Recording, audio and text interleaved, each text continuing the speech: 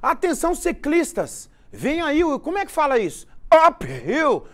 Pico da Ibituruna, a disputa que vai acontecer no dia 5 de fevereiro tem caráter festivo e filantrópico. A competição faz parte das comemorações do aniversário de 85 anos de governador Valadares. Vocês não colocam a pronúncia para mim, eu não sei inglês. Ó. O valor da inscrição será revertido para a recuperação de um atleta, né?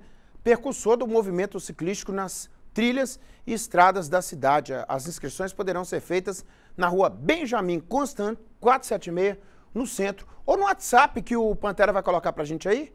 Ele é fera, ó, 339 9156-6672. Como é que é o nome da competição? Falei certinho?